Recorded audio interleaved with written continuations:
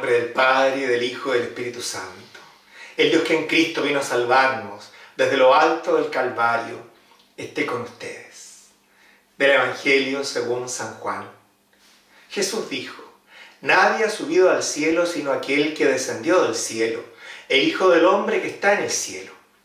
De la misma manera que Moisés levantó en alto a la serpiente en el desierto, también es necesario que el Hijo del Hombre sea levantado en alto, para que todos los que creen en Él tengan vida eterna. Sí, Dios amó tanto al mundo que entregó a su Hijo único para que todo el que cree en Él no muera, sino que tenga vida eterna. Porque Dios no envió a su Hijo al mundo para juzgarlo, sino para que el mundo se salve por medio de Él. En este día en que veneramos este signo tan contradictorio. Signo de muerte, signo de fracaso, instrumento de tortura, de dolor, pero en adelante lo que era locura para el mundo, dirá San Pablo, es la sabiduría de Dios. Desde lo alto de la cruz, Jesús exaltado viene también a regalarnos a todos la posibilidad de la salvación. Era necesario que el Hijo del Hombre padeciera y finalmente fuera clavado en aquel madero para abrir finalmente para todos las puertas del cielo.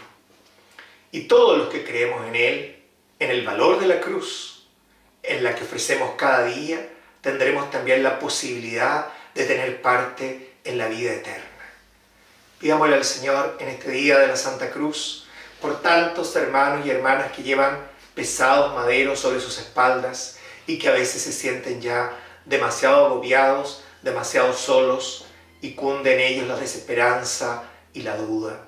Pidamos que esta cruz gloriosa nos ayude a todos a recuperar fuerzas y a recuperar el verdadero sentido de cargar con nuestras cruces cada día.